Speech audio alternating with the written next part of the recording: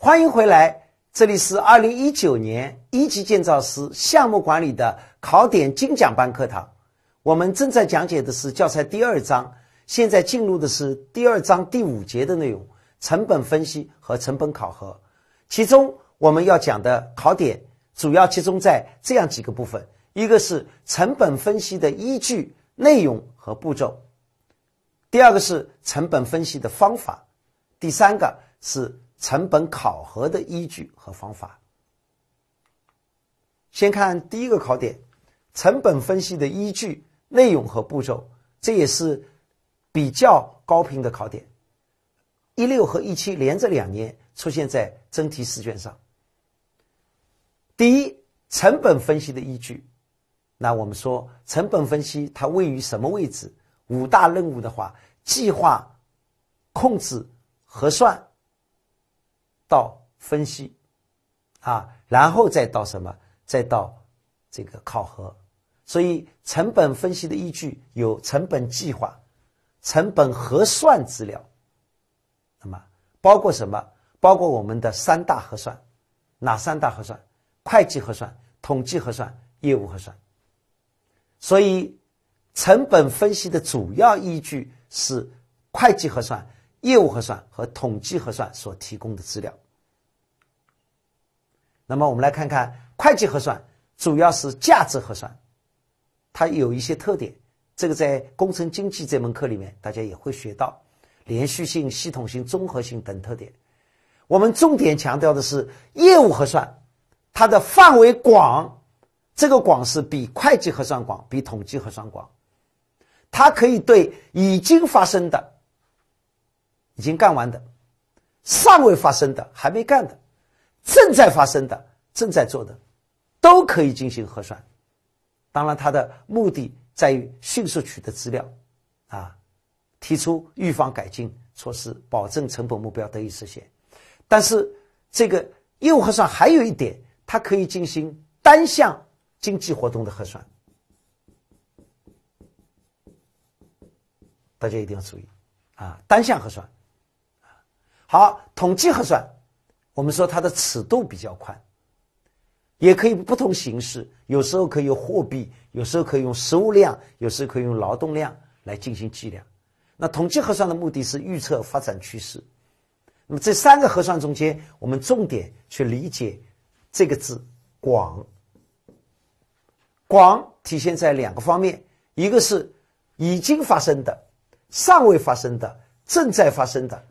都能算，那么请大家注意，会计核算和统计核算这两个都是什么？已经发生的，只能算已经发生的，尚未发生和正在发生的都不能算。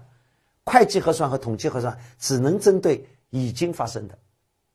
另外一个呢，业务核算呢，它还能够算单项，啊，这个也是其他核算所不具备的。好。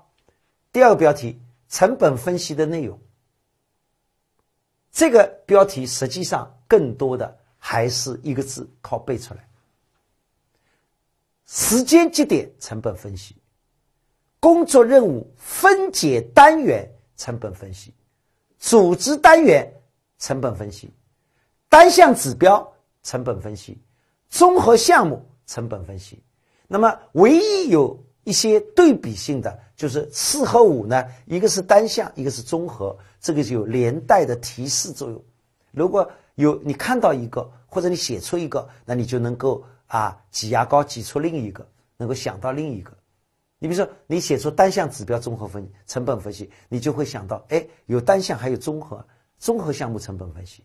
那么上面二三呢，你会从单元这个词入手啊，有分解单元。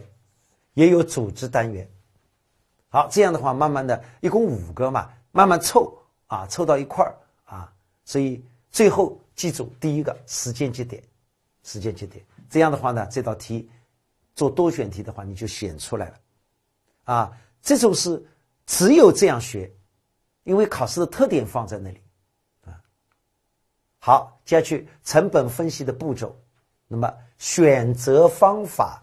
收集信息、数据处理、分析原因、确定结果、就四个字四个字这样来啊。选择方法，方法先选，完了以后要收集要分析嘛，要有数据嘛，先把信息收集过来，收集过来数据要处理一下啊。那么最重要的是最后两步，要分析成本形成的原因，分析原因，确定成本的结果。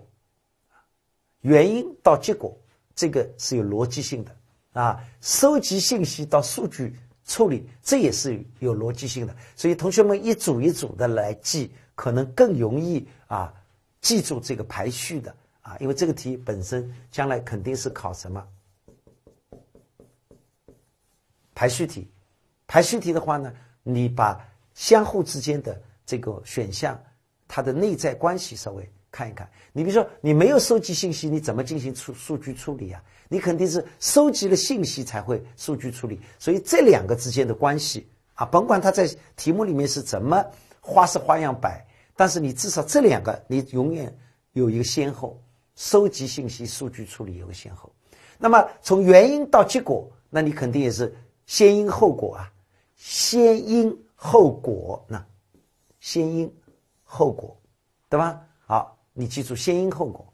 那么最后第一个选择方法啊，方法要选到位。所以第一步成本分析的时候，第一步要把分析方法选到位。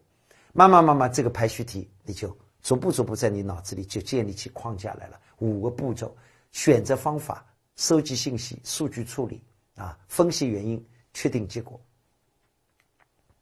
好，我们来看例题巩固。关于成本分析依据的说法，准确的是：A. 统计核算可以用货币来计算。统计核算是不是可以用货币来计算？统计核算有很多种表现，货币、工程量、实物量都可以啊。哎，那么业务核算主要是会计核算的这个价值核算吗？错了，业务核算主要是哎算。针对我们说现在的这个正在进行的，以及这个将来可能进行的，以及已经做完的经济活动进行核算，啊，他没有说是价值核算，啊，而价值核算的话，一般指的是什么？是会计核算，对吧？好，统计核算的计量尺度比会计核算窄，窄错了，应该是宽，啊，应该是宽。统计核算比较宽啊，计算的尺度比较宽，啊，对尚未发生的经济活动进行核算，这个只有业务核算啊，只有业务核算可以这样做，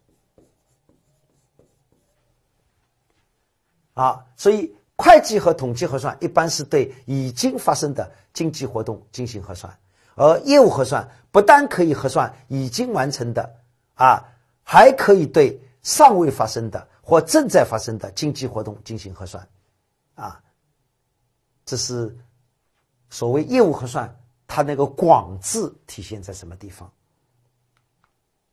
所以答案应该是选 A，统计核算可以是货币表达的，也可以是工程量、实物量表达的。好，下列各项属于成本分析的内容，那么这个就是要靠你熟悉和记忆了。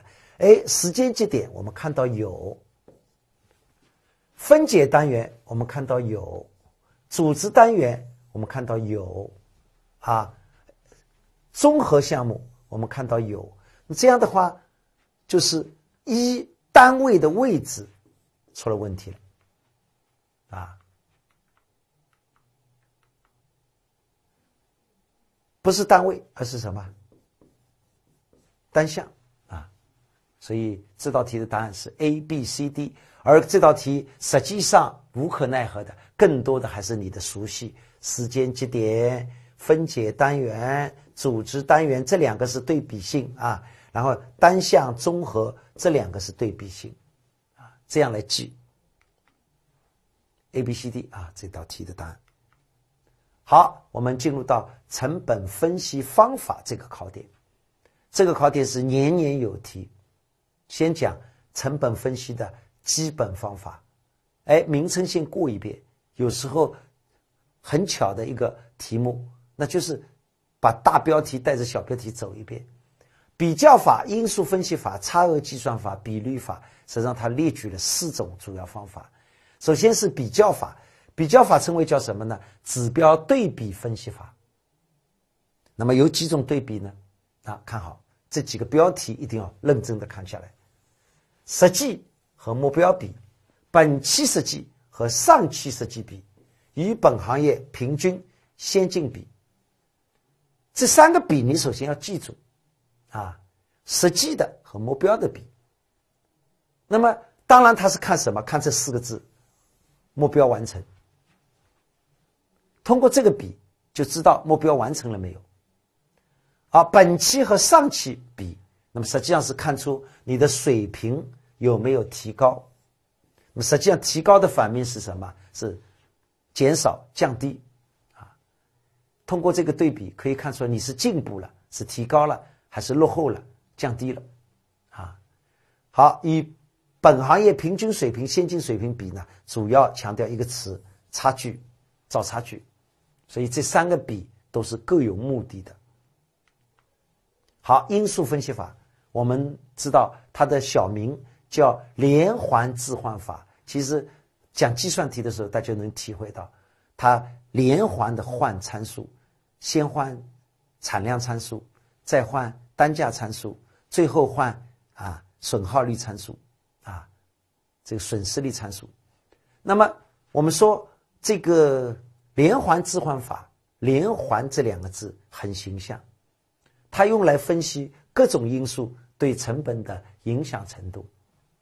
哎，这里面特别要强调一个啊，因素分析法里面非常看重的规则，就是先实物量后价值量。产量排在前面，单价排在后面。产量、单价都是绝对值，绝对值排在前面，相对值、损耗率啊放在后面，比率的东西放在后面，绝对值的东西放在前面。好，这是一道例题。同学们看到这道例题的话呢，哎，将来考试的时候呢，请注意这个没有。这个也没有，只留下了什么？只留下了这六个数据。友情提醒同学，拿到这个题目不要很得意，因为你肯定会做啊。经过学习，你肯定会做，不要很得意，一定要先看一下是不是产量、单价、损耗率。也就是说，一定把规则给它套一套，先量后价，先绝对。后相对，如果符合的，那么我们就可以来开始进行计算了。这个地方实际上呢是三个参量：产量、单价、损耗率。那么大家记住，三个参量的话呢，要写四行啊，在草稿纸上要写四行，做的是四行。第一行是什么呢？写目标值。目标值呢，应该是产量乘单价乘上一加损耗率。那么我们写出来呢，啊，大家跟着写六百。乘七百一乘一点零四啊，六百是数量，七百一是价格，一点零四这个一代表的是原始的，零点零四是百分之四的损耗，一加上百分之损耗就是实际发生的啊，所以这个参数算下来应该是个目标值。目标成本是吧？我们叫它一号位，给它一个圈一，圈一。好，什么叫因素分析法呢？连环置换呢？那接下来第二步就是把这个六百换掉，换成什么呢？换成六百三，换成六百三。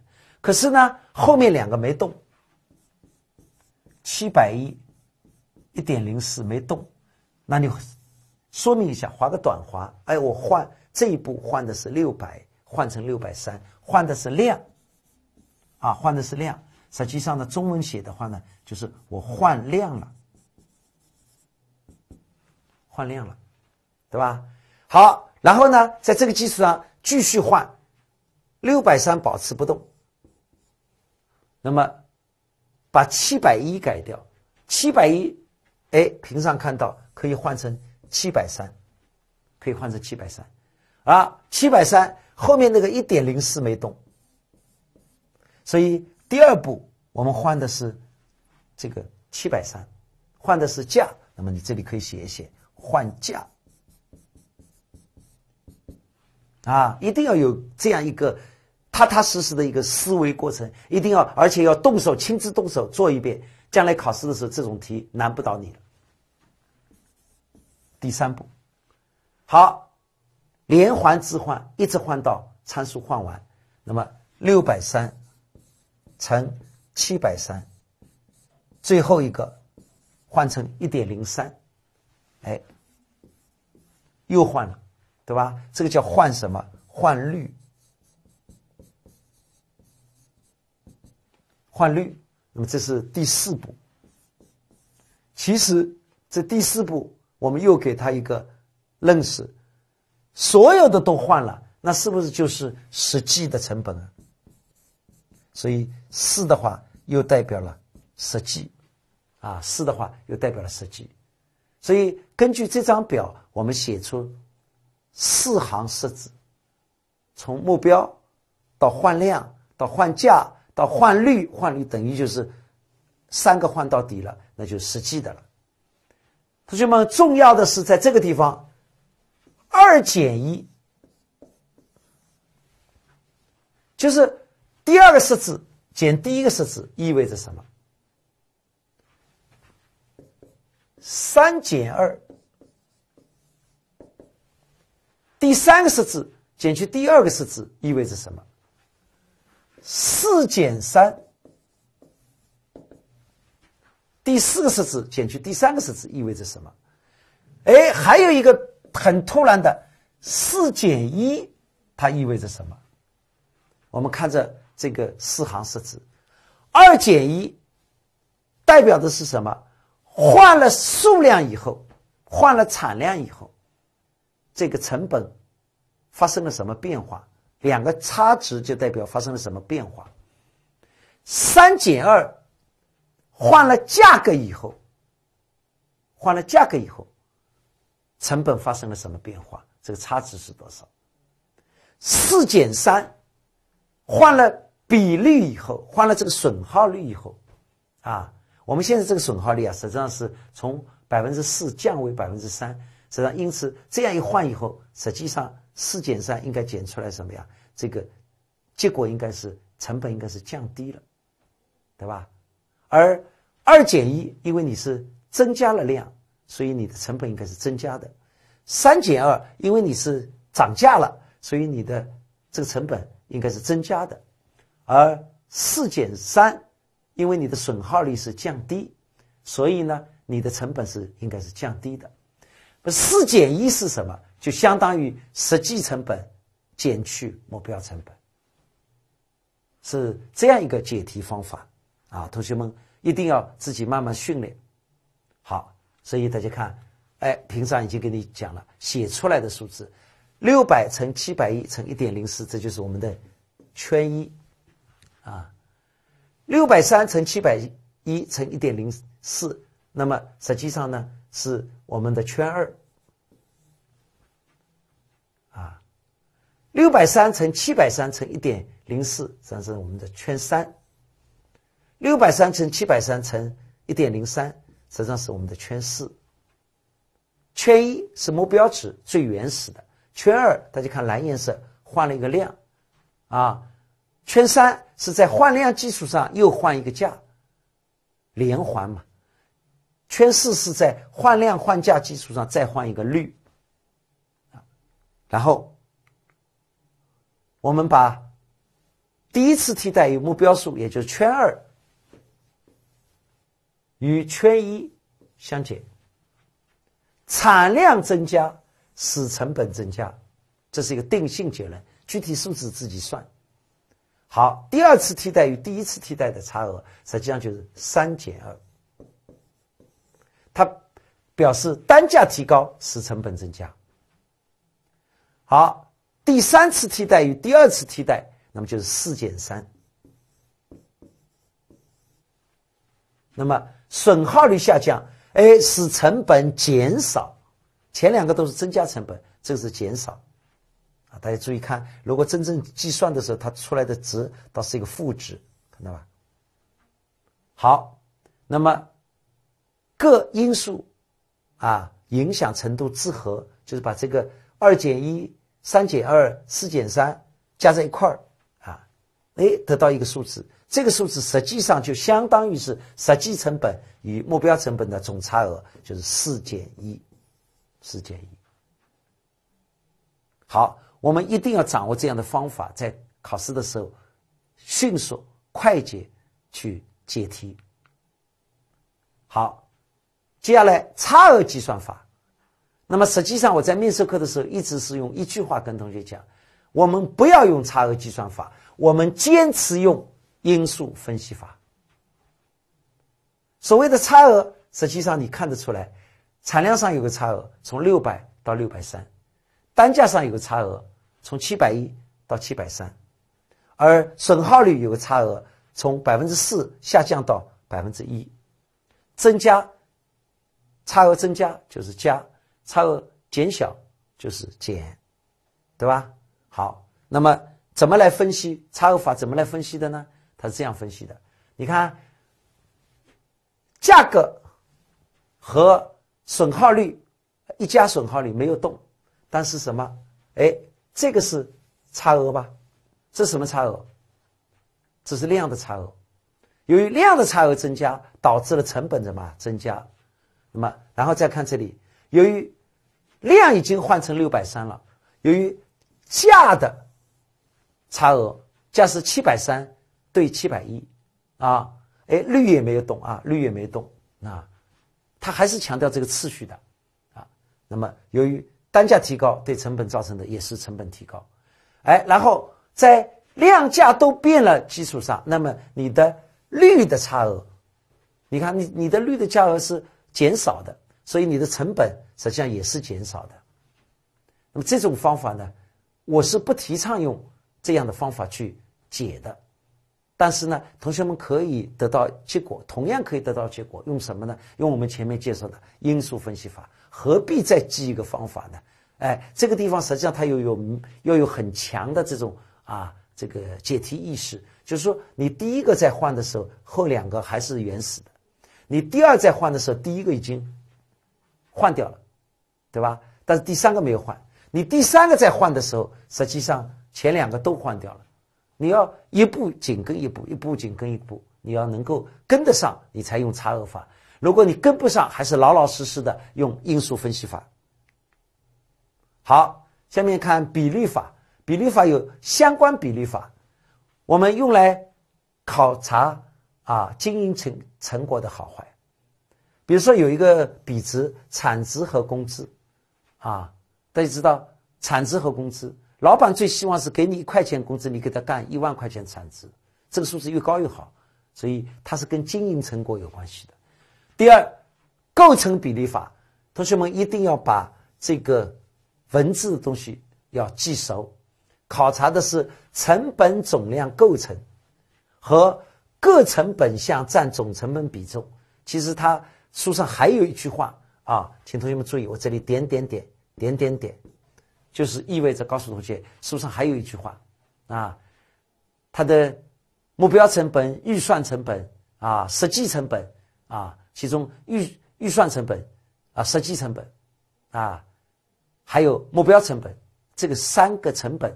之间相互的关系，以及成本的降低啊之间的关系，都是用构成比例法来表达的。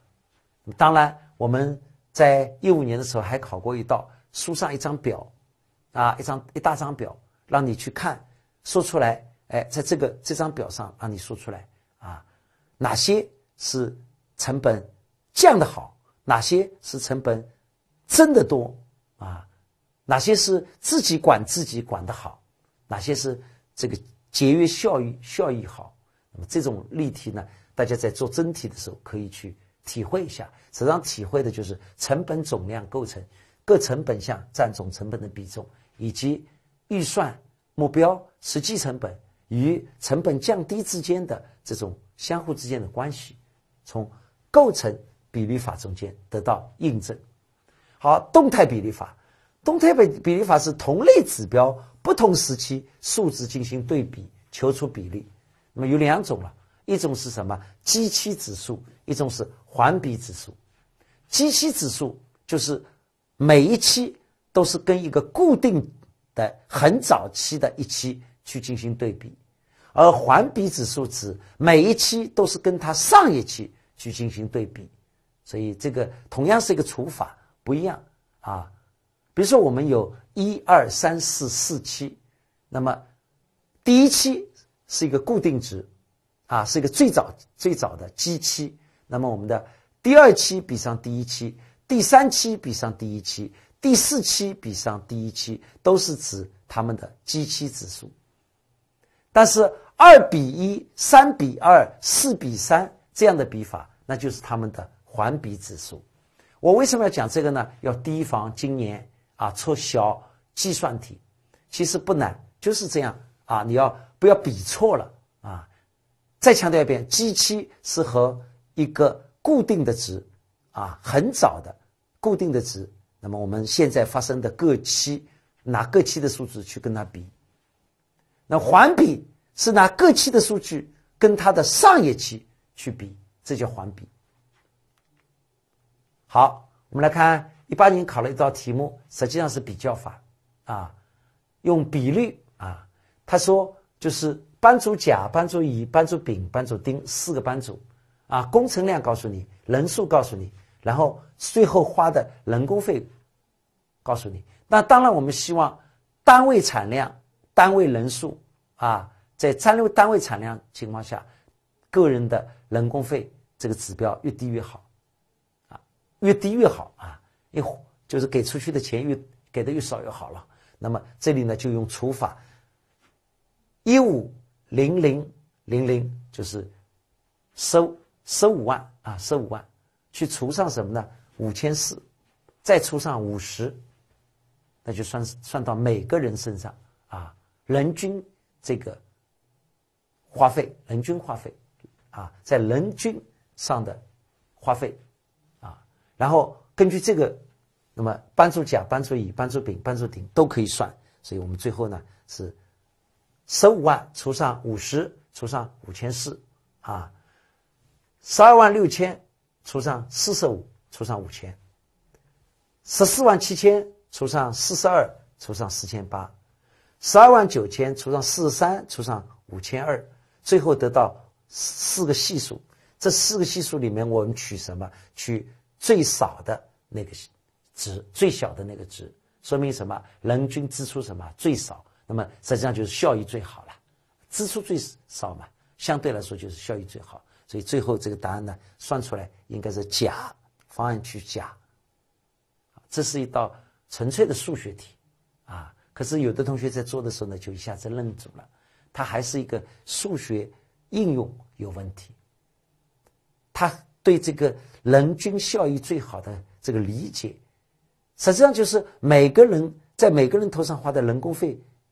越少，实际上就是在人的头上的这个效益最好，是这么一个简单的转化。简单转化以后呢，哎，我们就可以把一个班组的人工费去除上这个班组的人数，然后再折算到什么每单位的每单位的产量上，啊，因为你十五万除五十是讲一个人，那么然后呢还要除五千四，那么就是讲到一平方啊，讲到一平方啊，就是。在工资一个单位工程量情况下，考察的是一个单位工程量情况下啊，这个人工工资的这个支出水平啊，那么当然是最少最好。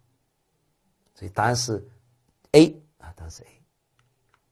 好，第二题，下列建设工程项目施工成本分析方法中，属于分析各种因素对成本影响因素的程度的。那么当然是因素分析法。因素分析法还有个小名叫什么呢？叫连环置换法。啊，答案是 D。好，再看一道题：某施工项目某月的成本数据如下表，叫你用差额法来算预算成本增加对成本的影响。我们先看两个参数的名字叫什么？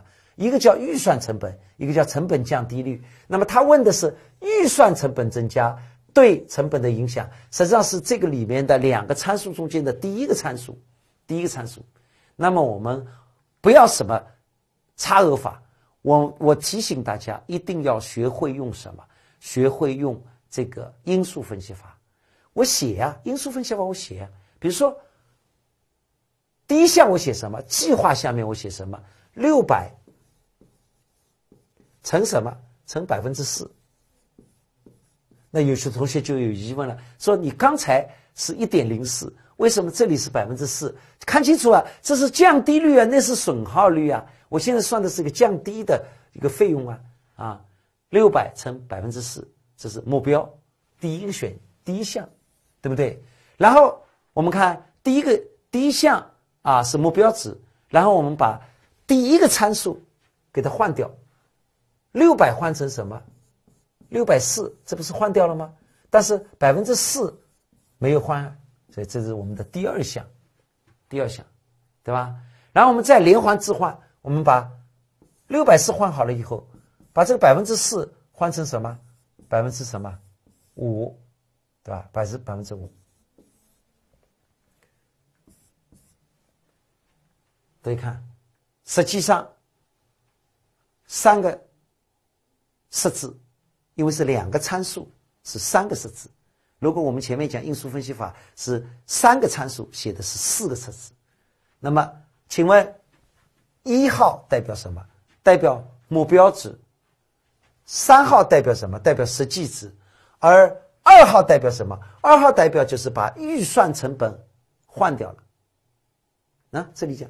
看着这个表格啊，把这个预算成本换掉了，把这个参数你你只当是第一个参数，咱们可以这样说：第一个参数，第二参数。那么二号就是把第一个参数换掉了，三号就是把第二个参数换掉了。他现在问你的是第一个参数换掉有什么问题？那么实际上答案就是二减一啊，答案就是二减一。二减一的话呢，那就看百分之四提出来。六百四减去六百，不是四十吗？四十再乘百分之四，百分之一百六，是不是一点六啊？所以答案就是 D，啊，答案就是 D，啊。那么如果用差额做的话呢，那就是一定要记住啊，你你因为是第一个参数换，所以第一个参数换写在前面，第一个参数换六百四减六百，第二个参数没动，啊，不能动，没动，还是原来的计划值，所以是一点六。那么我讲的方法是用什么？是用因数分析法做，他这个是用差额法的理论来做，实际上最后结果是一样的。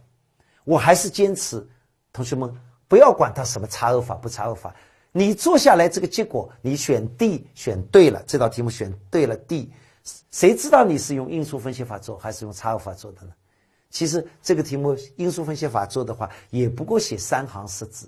而且很明确，你问的是第一个参数增加，那么我第一个参数它发生在什么？它调整发生在第二个设置上，圈二这个设置上，圈二减圈一。如果你问我啊，成本降低率的变化对成本的影响，那么我倒反而要三减二了，对不对？好，这种题目呢，希望大家要灵活的掌握。